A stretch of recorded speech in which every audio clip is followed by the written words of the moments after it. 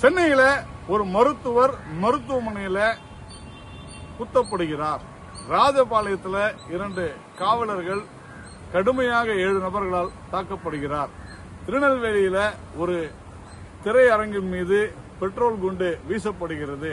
திருச்சியில ஒரு இளைஞர் ஓட ஓட விரட்டி கொலை செய்யப்படுகிறார்னு சென்ற வாரம் முழுக்க பல்வேறு சம்பவங்களை பார்த்தோம். இதுல இதையெல்லாம் தாண்டி ஒரு விஷயம் பரபரப்பாக பேசப்பட்டது என்னவென்றால் தனுஷ் நயன்தாரா விவகாரம். இது எல்லாவற்றையும் பின்தள்ளிவிட்டு நயன்தாரா எழுதியது என்ன? தனுஷ் எழுதியது என்ன? அவங்களுக்குள்ள என்ன சண்டை? இதுதான் தமிழ்நாட்டில் மிகப்பெரிய பிரச்சனையாக ஊடகங்களால் பேசப்பட்டது. இதையெல்லாம் தாண்டி நேற்றைய முன்தினம் அஇஅதிமுகவினுடைய கூட்டணி கட்சி நடத்திய ஒரு பேரணியில திமுகவினுடைய சட்டமன்ற உறுப்பினர் கலந்து கொண்டு இந்த நாட்டினுடைய மத்திய அரசாங்கம் தடை செய்த ஒரு அமைப்பை பாப்புலர் ஃப்ரண்ட் ஆஃப் இந்தியா என்கிற இஸ்லாமிய பயங்கரவாத அமைப்பை தடை செய்ததை அந்த அமைப்பை புகழாரம் சூட்டி பேசியிருக்கிறார். எஸ்டிபிஐ என்கின்ற அந்த பாப்புலர் ஃப்ரண்ட் ஆஃப் இந்தியா என்கிற அந்த அமைப்பினுடைய ஆஃப் ஷூட்டாக இருக்கக்கூடிய எஸ்டிபிஐ அரசியல் கட்சி அது அஇஅதிமுகவினுடைய கூட்டணி கட்சி கடந்த தேர்தலில் இரட்டை இலை சின்னத்தில் போட்டியிட்டது.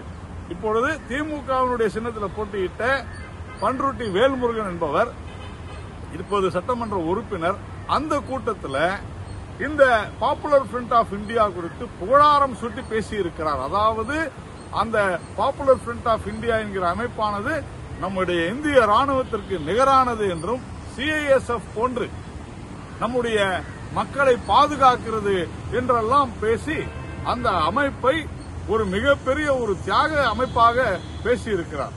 அதோடு மட்டுமல்ல அந்த அமைப்பினால இந்த பேரணி எஸ்டிபிஐ பிஎஃப்ஐ இதனால ஏற்படுகிற பேரணியில ஏதேனும் நேர்ந்தால் இந்த இவர்களுடைய செயல்பாடுகள் ஏதேனும் பிரச்சனை இருந்தால் நான் பொறுப்பேற்கிறேன் என்று பேசியிருக்கிறார் வேல்முருகன் எஸ்டிபிஐ பிஎஃப்ஐ இந்த அமைப்புகள் தான் தமிழ்நாட்டில் நடந்த பல்வேறு படுகொலைகளுக்கு காரணம். ராமலிங்கம் ஆகட்டும் சசிகுமார் ஆகட்டும் ரெட்டி ஆகட்டும் பல்வேறு படுகொலைகள்.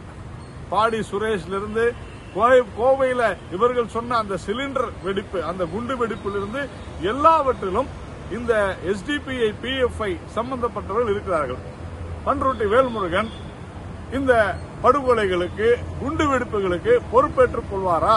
மேலும் அவர் பேசும்போது சொல்கிறார் இந்த பேரணிக்கு அனுமதி கொடுக்கவில்லை ஆனால் நான் முதலமைச்சர் அலுவலகத்திலும் பேசினேன் காவல்துறை உயரதிகாரிடம் பேசினேன் என்று சொல்கிறார். இவர் சொல்லித்தான் அந்த அனுமதி கொடுக்கப்பட்டதா என்பதை முதல்வர் அலுவலகம் தெரிவிக்க வேண்டும். எப்படி இப்படிப்பட்ட ஒரு அதுவும் பதட்டம் நிலவிக் கொண்டிருக்கிற ஒரு சூழ்நிலையில இப்படிப்பட்ட ஒரு பேரணிக்கு அனுமதி கொடுக்கலாம். இங்கிருந்து ஹைதராபாத்துக்கு சென்று கைது செய்கிறார்கள் கஸ்தூரிய. கைது செய்யுங்க. தவறு செய்தால் கைது செய்யுங்க. ஆனால் தமிழ்நாட்டில் சென்னையில ஒருவர் இந்த நாட்டில் தடை செய்யப்பட்ட அமைப்பை ஐஎஸ்ஐஎஸ் ஐஎஸ்ஐஎஸ் உடன் தொடர்பு இருக்கிறது.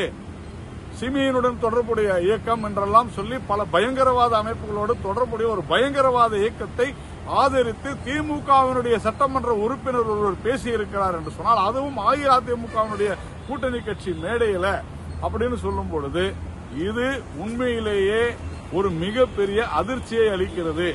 திமுகவும் அதிமுகவும் இரண்டும் சேர்ந்து கொண்டு இப்படி ஒரு மோசமான சூழ்நிலைக்கு வித்திட்டு இருக்கிறது என்பதை ஏற்றுக்கொள்வீர்களா? இதுதான் கேள்வி. உடனடியாக அந்த கூட்டத்தில் இந்தியாவினுடைய இறையாண்மைக்கு எதிராக நம்முடைய தேசத்திற்கு எதிராக பேசியவர்களை பன்ருட்டி வேல்முருகன் எம்எல்ஏ உட்பட அவர்களை கைது செய்ய வேண்டும். கைது செய்து சிறையில் அடைக்க வேண்டும் என்று உறுதியாக கேட்டுக்கொள்கிறேன். செய்வார்களா?